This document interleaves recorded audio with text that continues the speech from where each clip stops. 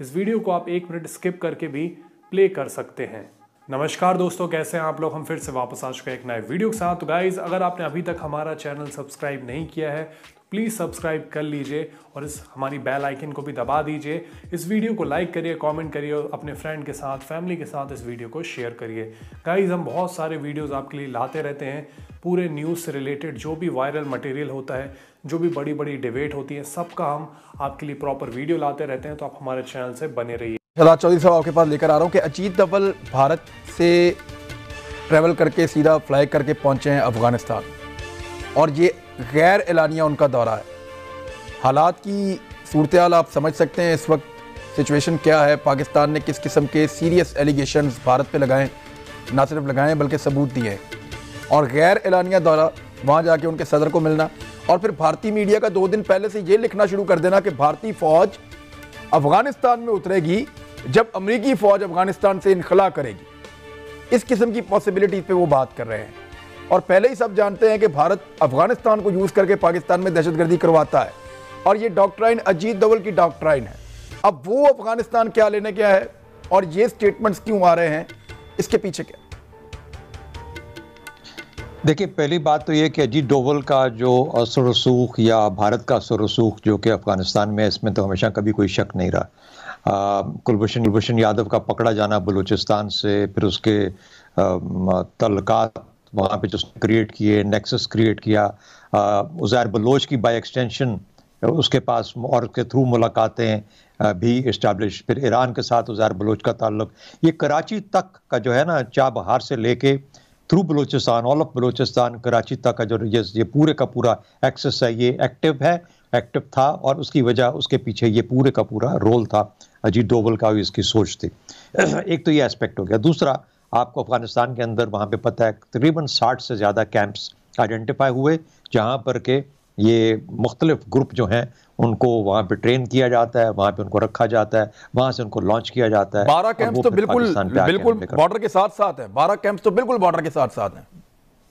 जो बॉर्डर के साथ साथ उसकी डेप्थ में जहाँ पर जी बिल्कुल। जहाँ पर लोगों को और जो लोगों को तैयार करके साठ के करीब ये डॉसियर बना जब पाकिस्तान का तो उसके अंदर साठ। से ज़्यादा ऐसे कैंप्स का इसका इसका ज़िक्र हुआ। तो खैर एनीवे anyway, तो, तो वो तो एस्टेब्लिश्ड है। उसका वहाँ पे जाना अफ़गानिस्तान का ताल्लुक होना भारत के साथ ख़ास तौर पे अशरफ गनी साहब की हुकूमत का और उनके एन डी एस का, ये बिल्कुल एक नोन चीज़ें हैं और हम इस पर साल साल से लिखते जा रहे हैं और जो वहाँ पे बैठ के वो पाकिस्तान पे एक दूसरा फ्रंट खोले बैठे हैं। ये भी बिल्कुल एक इस्टेब्लिश जगह है और हमें पता है कि वेस्टर्न फ्रंट को उन्होंने एक्टिव रखा हुआ है और वो इंडिया ने एक्टिव रखा हुआ है। अफ़गानिस्तान की ज़मीन को इस्तेमाल करते हुए और फिर उसके बाद किसी हद तक ईरान भी उसके अंदर मुलविस हो जाता है बदकिस्मती से, शायद उनका भी उतनी रेट अपने इलाके में नहीं है। तो एक तो ये बातें हो गई बात। देखिए, जहाँ दूसरा सवाल आपने कहा रेज किया कि कहा जा रहा है कि उनकी फौजें अफ़गानिस्तान में आना चाहती हैं, मेरा ख्याल है कि इसमें कोई अगर वो लाना चाहते हैं तो ला सकते हैं। यानी ये तो फिर ऐसा है, देखिए पहले रूस ने कब्जा किया, सोवियत यूनियन ने। उनके साथ जो हुआ, वो भी दुनिया के आगे है। फिर अमेरिका ने वहाँ पे अफवाज भेजी, वहाँ पे जाके इतना अरसा रहे और अब जिस तरीके से वहाँ से जा रहे हैं, ये भी इस्टेब्लिश है। अगर भारत कोशिश करना चाहता है तो वो भी ज़रूर करे। आ, बहुत अरसा पहले बहुत अरसा पहले कुछ साल पहले हमने ये एक डिस्कशन में ट्रैक टू के लेवल पे इंडिया के साथ हमने ये पॉइंट रेज किया था। हमने कहा था कि भारत को चाहिए कि अपना रोल अदा करे बड़े मुल्क के तौर पे और अफ़गानिस्तान में अफवाज अगर भेजना चाहता है खासतौर पर जब अमेरिका के अफवाज का मतलब निकलने का सोच बात हो रही थी। गो के ये हमने वो तो आप उनको जाल के लिए। तो, तो तो कहने का मतलब ये है कि देखिए कोई फौज वहाँ पे जब जाती है तो वो कोई उनके लिए इतना आसान नहीं होता।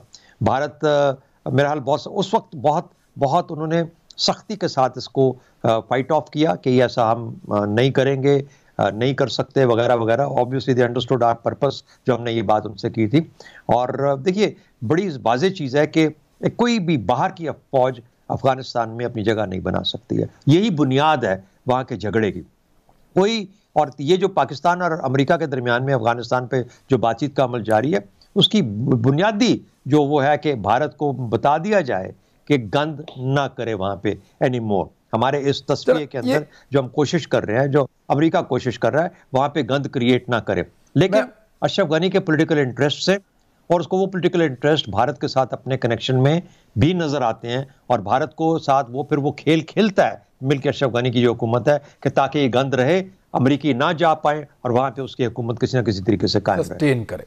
मैं ठीक है। मतलब बात सब क्या इंडिया आपको इस हमत अमली के साथ रेलिवेंट कर पाएगा? उसकी रेलिवेंसी जो है वो बढ़ पाएगी? क्योंकि अफगान जो अमन अमल हो रहा है उसमें इंडिया को कोई शेयर नहीं मिला और प्रैक्टिकली वो कोई नज़र नहीं आता।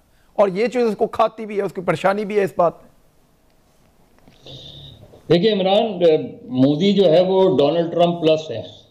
वो उस उस, वो कुछ भी कर सकते हैं, लेकिन जो कश्मीर में फंसे हुए हैं, उसके बाद मुझे नहीं लगता कि इंडियन आर्मी के अंदर ये बात बहुत ज़्यादा सपोर्टिव होगी कि हम अफ़गानिस्तान में एक ऐसी सिचुएशन में जाएँ, जहाँ अमेरिकन डिफीट खा चुके हैं, जहाँ सोवियत डिफीट खा चुके हैं, और जहाँ विक्ट्री कभी भी नहीं होती।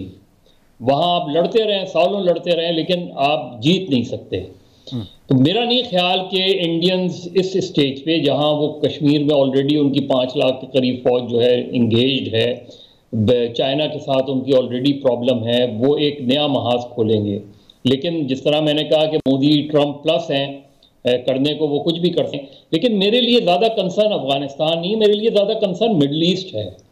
हम्म। और उसका ताल्लुक पाकिस्तान से बहुत बनता है जहाँ जहाँ वहाँ जो इंगेजमेंट्स हो रही हैं वो पाकिस्तान के लिए मैटर ऑफ़ कंसर्न है। जिस चार मिलियन पाकिस्तानी है।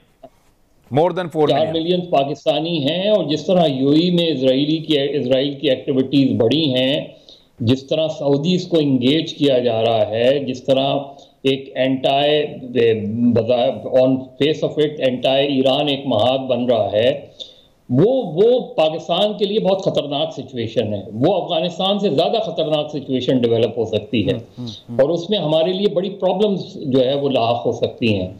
तो यहाँ की जो सिचुएशन है इसमें जिस तरह तारिक साहब कह रहे थे कि चाइना कभी भी इस चीज़ को टॉलरेट नहीं करेगा कि जो है इंडिया है।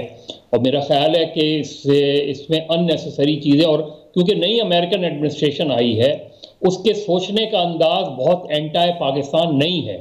अगर बहुत प्रो पाकिस्तान नहीं है तो बहुत एंटाई पाकिस्तान भी नहीं है और पाकिस्तान की कंसर्न को वो ज़रूर कंसिडर करेंगे अगर ऐसी बात आती लेकिन सर उसकी कैबिनेट में बारह इंडियन नजात लोग हैं। ये पहली दफ़ा हो रहा है अमेरिका में ये। हाँ हाँ वो होंगे वो बिल्कुल होंगे लेकिन ज़ाहिर है अमेरिकन जो गवर्नमेंट्स बदलती हैं उस, उसके अंदर जो चीज़ें तब्दील होती हैं लेकिन जो बाइडन का जो जो माजी रहा है वो अगर बहुत प्रो पाकिस्तान नहीं तो एंटाई पाकिस्तान तो बहरहाल नहीं है ठीक। जो तो वो और और ट्रंप और ट्रंप के साथ जो इस वक्त होने जा रहा है उसके बाद वो वो पॉलिसीज़ में गाइस ये वीडियो होता है यहाँ पर। ख़त्म। आप यहाँ से ये वीडियो छोड़कर जा सकते हैं। आपने देखा किस तरीके से पाकिस्तानी मीडिया एक पता नहीं कौन सी इंडियन मीडिया को फॉलो कर रहा है, जहाँ से ये इन्होंने न्यूज़ ली है कि इंडियन आर्मी जा सकती है अफ़गानिस्तान में।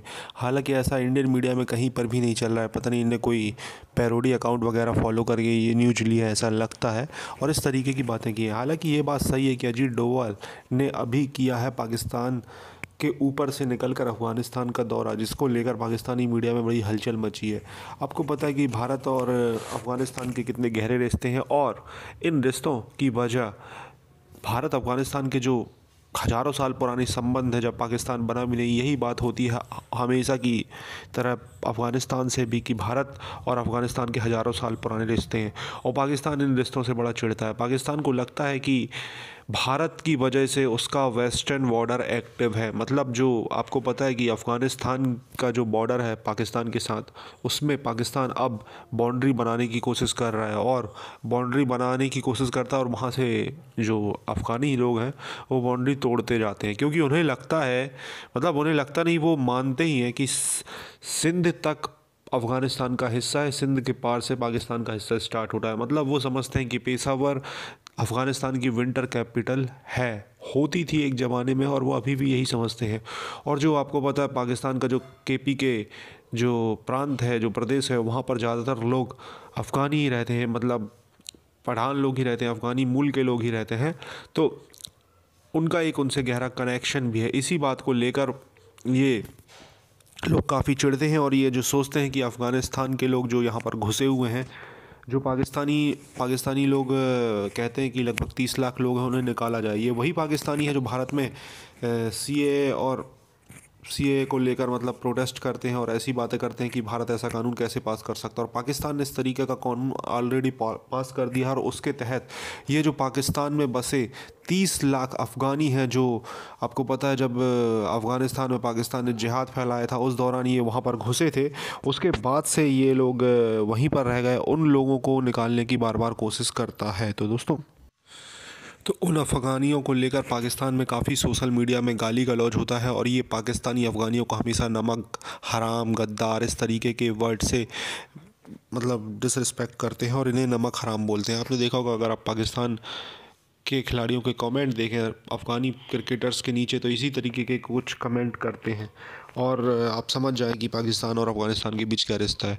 तो चलिए दोस्तों, वीडियो करते हैं ख़त्म। अगर आपको वीडियो अच्छा लगा तो प्लीज़ चैनल को सब्सक्राइब करें, वीडियो को लाइक करें कमेंट बॉक्स में अपने सुझाव ज़रूर शेयर करें। धन्यवाद दोस्तों, वीडियो देखने के लिए। इसी तरीके के आपको वीडियो मिलते रहेंगे।